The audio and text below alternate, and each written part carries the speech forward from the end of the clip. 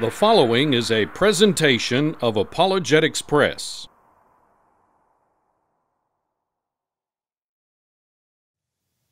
What is Islam? Who is Muhammad? What do Muslims believe? Is the Quran the inspired Word of God? Are Christianity and Islam compatible? Can they agree? Can they coincide and coexist? These are some of the questions that we will explore in this seminar. But let's begin by talking for just a moment about the worldwide impact of Islam. You realize that Islam is expanding and impacting the world. And it might surprise you to learn that the largest Muslim populations on the planet are not in the Middle East. In fact, the most populated Muslim country is Indonesia. That's Southeast Asia. And that's followed by Pakistan, which at one time was part of India.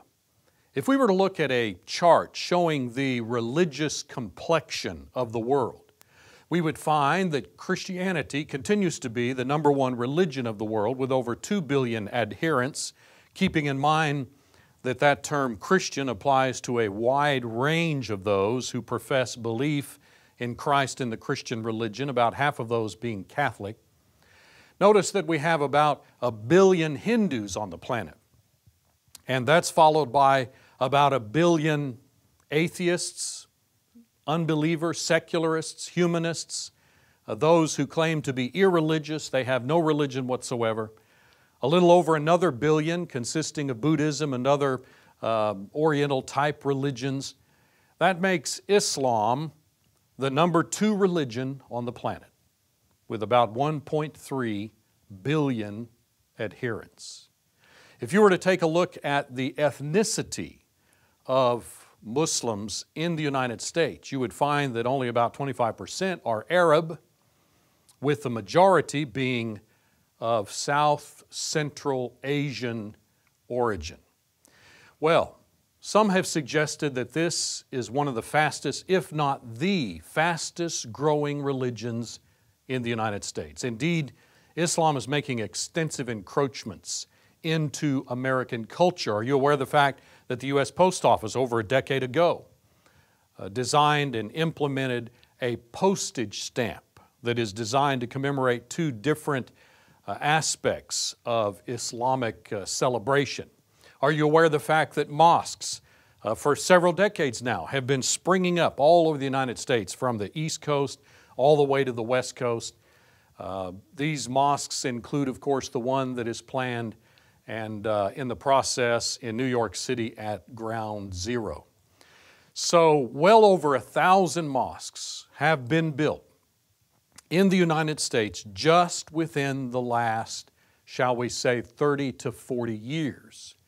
Interesting concept. Why suddenly now?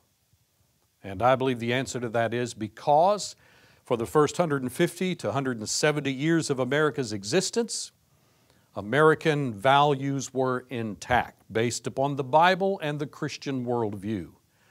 But post World War II years have been turbulent morally, spiritually, culturally, socially, and consequently, there's been an upheaval as many Americans are jettisoning their uh, values, what were called traditional American values that were rooted in and based upon a Christian worldview.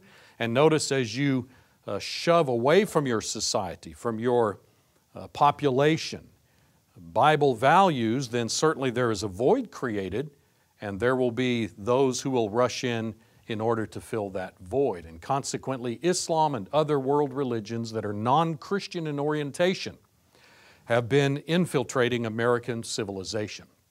Think in the news how often you are hearing of these encroachments. For example, New York public schools uh, made room for Ramadan celebration among many of their students. Uh, Ramadan is being taught in public schools all over our country, recognized and and actually incorporated into the uh, curriculum. There have been uh, major universities across the country that have installed prayer rooms for Muslim students. They wouldn't do anything like that uh, for Christian students. Uh, the Kansas City airport some time ago installed uh, foot baths for Muslim cabbies and there's even been a Muslim public school that has been funded by taxpayer money. So, this infiltration, this alteration of the complexion of American civilization is taking place before our very eyes. On September 25, 2009, several thousand Muslims gathered on the lawn of our Capitol in order to engage in Islamic prayers.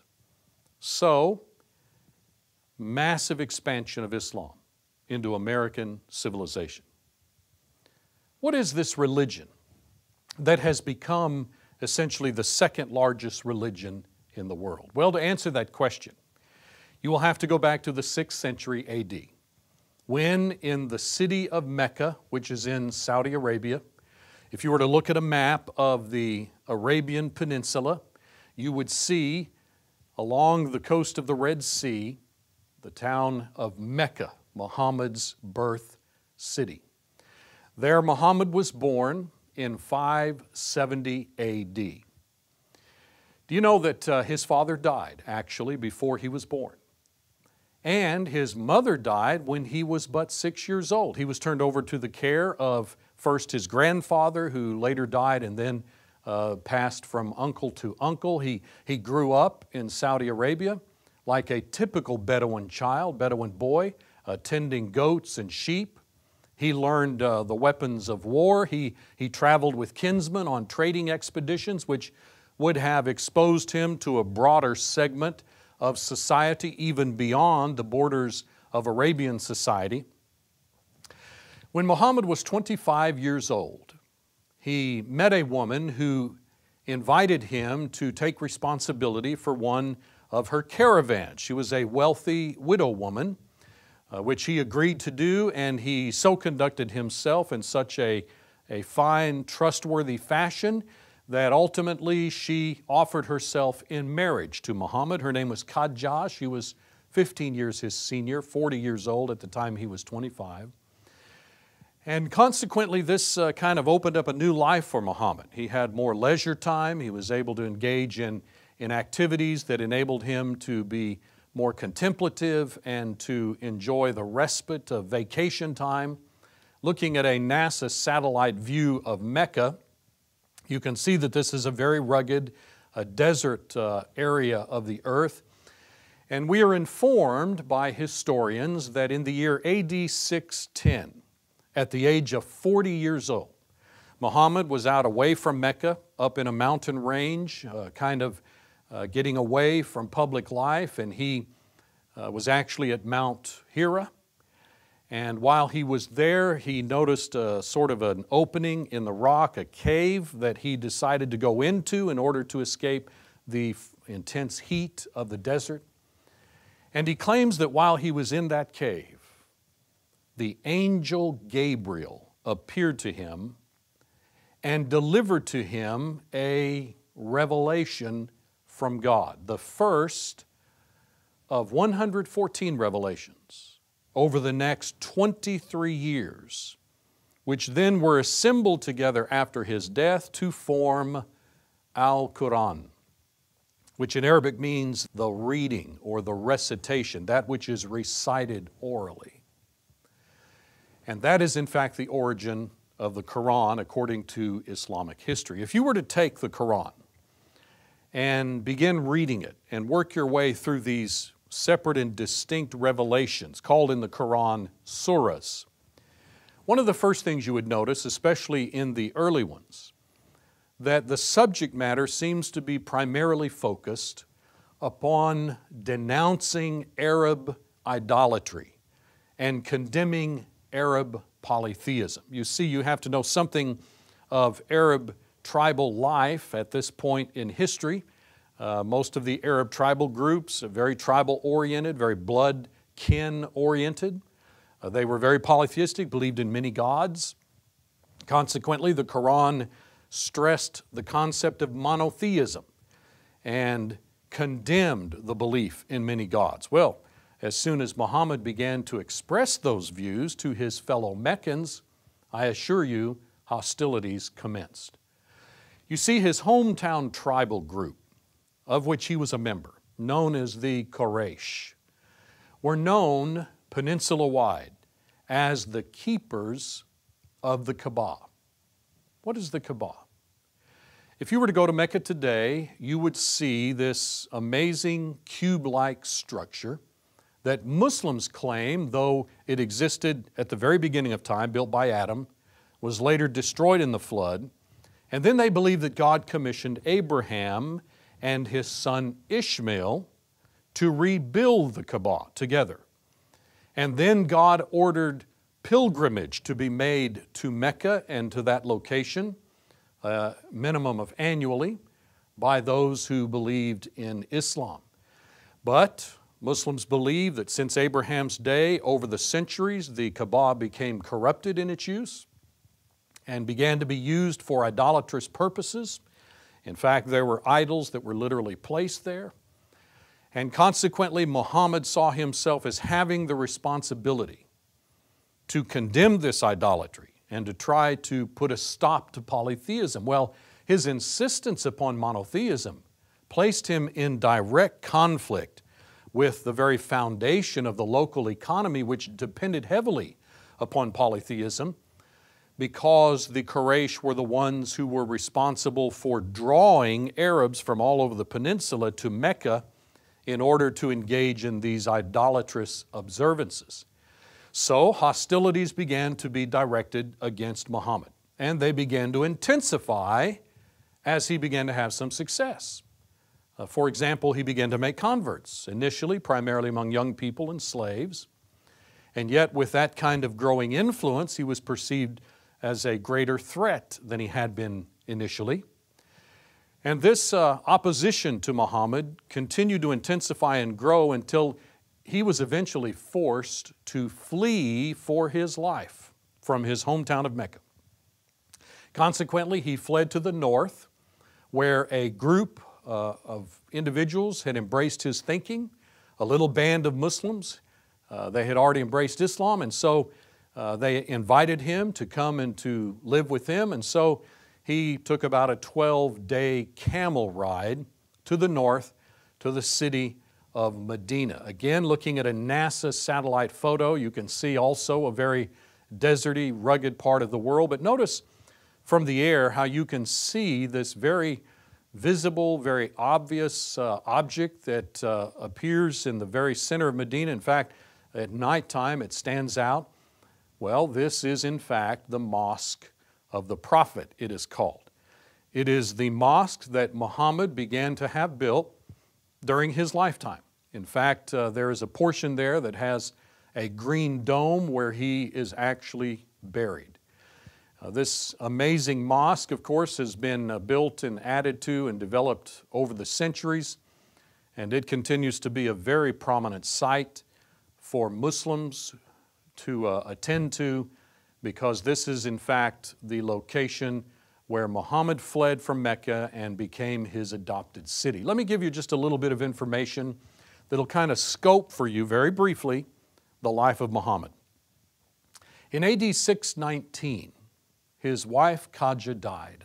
Up to this point, Muhammad had been um, purely monogamous. He had only one wife. And yet, within about a year of this event, the death of his, of his wife, he claims to have made a trip to heaven. And we'll talk about that a little bit later. And uh, again, within a year of the death of his wife, he claims that he was ordered by God to marry the daughter of his best friend Abu Bakr. At the time, that daughter, Aisha, uh, Islamic sources say, was six years old. Within another couple of years, the Hijrah occurred, that is, his flight from Mecca to Medina because of the persecutions that were levied against him by his hometown tribe of the Quraysh. Consequently, the year AD 622 is a very critical, very prominent event in Islamic history. In fact, all of Islamic history, and therefore to a Muslim, all of world history, is dated from the Hijrah, the flight from Mecca to Medina. In fact, as you read through the Quran, there are clearly surahs that pertain to events preceding the Hijrah. So these are surahs that pertain to events in Mecca. And then you have other surahs that clearly indicate a post Hijrah circumstance or context. And these are those that were uh, given during the period that Muhammad was in Medina. So the Quran has Meccan surahs and Medinan surahs for the most part. Now, once Muhammad shifted from Mecca to Medina, let me give you a very brief scoping of history at this point.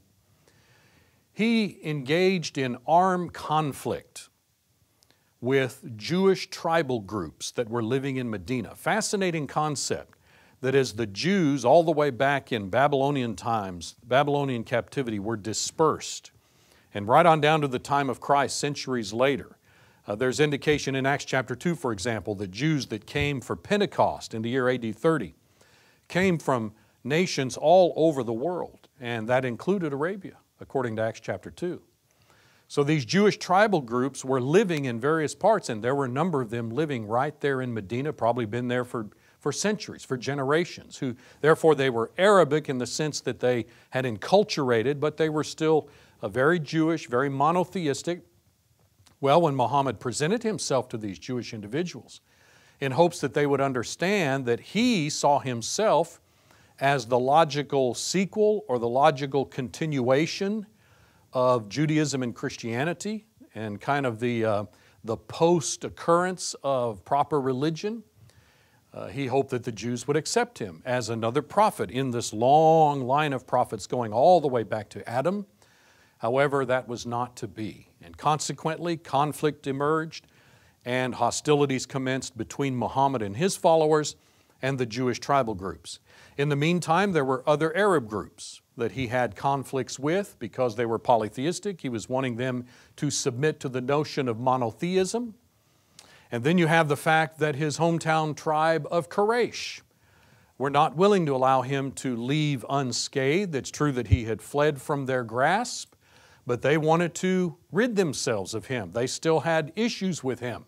And consequently, they would literally launch attempts to assassinate Muhammad. Also, during this period, Islam continued to expand. More conversions were made. Muhammad's military strength was likewise increasing. And also, I might point out that during this period, Muhammad began to add wives, add women to his harem. And consequently, he would have another living quarters constructed adjacent to the mosque that was being built in Medina. And he claims during this period that he continued to receive revelations from Allah, the Arabic word for God.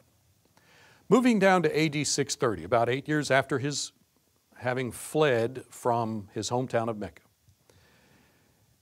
we find that he had achieved sufficient military strength that he was able to gather his military forces and march on his hometown of Mecca.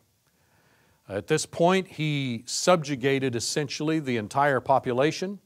He purged the Kaaba of all of its uh, polytheism uh, and engaged in some other actions but for all practical purposes brought in under submission, which, by the way, is the meaning of the word Islam submission. Notice the form of the same word, Islam, Muslim. Muslim, one who submits. So he brought under submission the population of Mecca, but he did not move in and begin to live there. He went back home to Medina, back to his adopted city.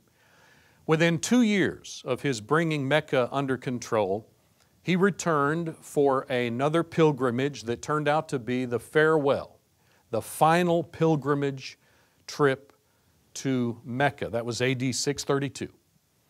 And later that year, June 8th, at the age of 62, Muhammad died of what is essentially an unknown illness. Now, that is a very brief recapping of the life of Muhammad to help us to be somewhat acquainted with this individual that has uh, occupied so much attention uh, over the last 14 or 1500 years. Now, let me give you a very brief thumbnail sketch of Islam as it has manifested itself since the death of Muhammad. Remember now, Muhammad claimed to be a prophet of God. And therefore, he claims, and Muslims claim, that he was the quintessential prophet of God. He was the ultimate and final prophet of God. And so when he died in AD 632, the Islamic community was momentarily, shall we say, disoriented. It was quite a blow to them that the prophet would die so unexpectedly. And they were initially kind of uncertain as to what they would do. I don't believe there was any concern or thought about appointing a new prophet. They believed he was the last prophet. But they did feel that there needed to be a community leader, somebody who would lead or serve as a, as a proper authority among the Muslims. And so there immediately began to be discussion about, well, who should that be? And there was immediately a disagreement, of course, about who should replace Muhammad. But this disagreement was uh, fairly quickly squelched. And Abu Bakr was selected, close friend of Muhammad. Uh, Muhammad had married his daughter, and consequently, Abu Bakr became the first caliph, the first caliph, sort of a deputy uh, vice regent. And he served in that capacity from the death of Muhammad to AD 634, at which time he was replaced by Umar, who was another very close associate of Muhammad going back to the very beginning of Muhammad's uh, teaching and, and promotion of Islam. Uh, he served in that capacity for about a decade, and then at his demise, he was replaced by Uthman. Now, up to this point, we have uh, general consensus within the Islamic community on each of these individuals because they went right back uh, to the time of Muhammad. They were very prominent figures. Uthman served in that capacity for over a decade, about 12 years. But at this point in Islamic history, 656 AD, the division, the seeds of which occurred right after the death of Muhammad, now came to a head. And the Islamic community essentially split apart into two primary factions. The first of these factions believed that the successor to Muhammad should be a blood relative, somebody directly linked back to Muhammad by blood. These individuals became known as Shiites because of the Arabic word Shia that has to do with being party to or partisan to. And so they selected Ali, who could trace his lineage back to Muhammad, and he became the first uh, Shiite imam, that would be one of the terms that are, that's used by uh, Shiites to refer to their leaders. His two sons successively succeeded him, Hassan and Hussein. All individuals that agreed with that perspective that the leader of the Islamic community should be connected directly to Muhammad, uh, they to this day are known as imams or ayahs, and you've heard of the Ayatollah, for example. Now, the other element in the Islamic community that disagreed with that view said no, the community leader can be someone who is selected by community consent, somebody that the community recognizes as a suitable and appropriate leader. These individuals became known as Sunnis. And in fact, the majority of Muslims have gone this direction. And consequently, they selected their first leader, and then over the centuries, other uh, caliphs, sultans, sheiks were selected to be the community leader of the Muslims, and, and they sort of set up what we might call dynasties, uh, caliphates, the Arabs would call it. And so there was the Umayyad Caliphate and the Abbasid, and, and this ultimately culminated in what we would call the Ottoman Empire, which had its center in Turkey. So the Ottoman Turks were kind of a, a climaxing of Islamic influence in art and architecture and, and other areas of development. And for all practical purposes, the Ottoman Empire came to a close about the time of World War I. That is a very brief history of Islam in its political manifestations over the centuries. Now, let me comment very quickly on this major split that occurred between the Shiites and the Sunnis. I cannot overstate the significance of this division. It is very prominent in the minds of Muslims worldwide. There may be an attempt by the Muslim world to give the impression that, oh, we're all, we're all united, we all agree, unlike you Christians and other groups that are all fragmented. But the facts of the matter are this is a split of really rather catastrophic proportions. In fact, uh, many times when you hear, even in Iraq and such places, of warring and killing going on, many, many times it is a clash between the Shiites and the Sunnis, even if Westerners have come and somehow gotten involved in the fracas. Well, as it turns out, the Shiites went on to split many more times and to divide over various disagreements. The Sunnis have done the same thing. There have been many factions and many divisions and disagreements uh, over their thinking. A fellow came about probably a century or so ago by the name of Wahhabi. He was kind of a Puritan in his thinking. He believed in going back to what he called the golden age of Islamic history when it was purely Arabic, and consequently, he advocated warlike jihad, a viewpoint that is promulgated and championed by even the Saudi royal family. If I were to try to give you some sense worldwide of the Muslim population in terms of Shiite versus Sunni, here is how that would lay out. Uh, roughly 13 to 14 percent are Shiite whereas the rest are Sunni. So if we were to round in round numbers, about 90% of the population of Islam is Sunni, and therefore about 10% are Shiite. In our next session together, we will examine the question why do radical Muslims hate Americans? And then we will turn our attention to the basic beliefs of Islam. What are their basic fundamental doctrines? What constitutes their overall belief system?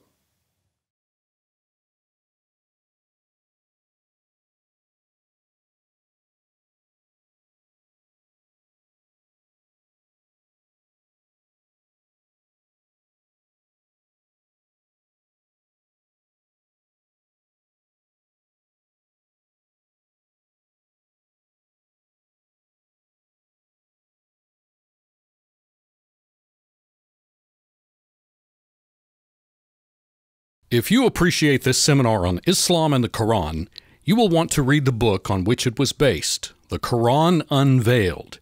This volume gives a great deal of additional information not included in the DVD seminar. Also available are study guides that supplement your viewing of the DVD.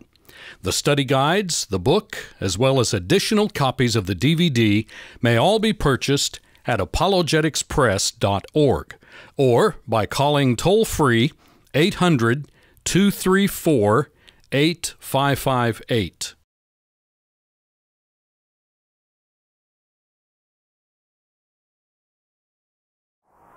This has been a presentation of Apologetics Press, an organization dedicated to the defense of New Testament Christianity. Visit us on the web at apologeticspress.org or call 800 234 8558.